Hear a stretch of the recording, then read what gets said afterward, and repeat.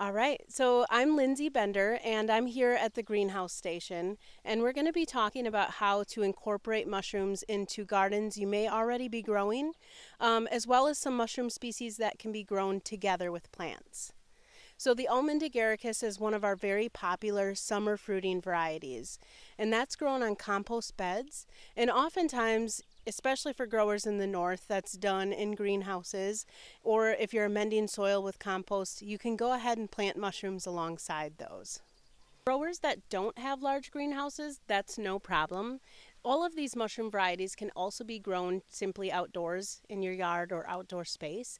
Um, but a new application is actually planting mushrooms in containers or pots.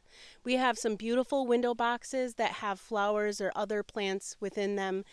Here you can see kind of a, a variety of plants in this large plot pot and we've planted the almond portobello mushroom. So it's a great way to kind of incorporate mushrooms into something you're already doing. Yeah, so the mushrooms are actually planted within the soil layer.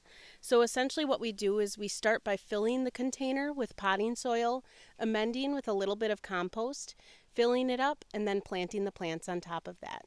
And then another what, way that we incorporate mushrooms into our greenhouse is actually by using reishi blocks as bed borders.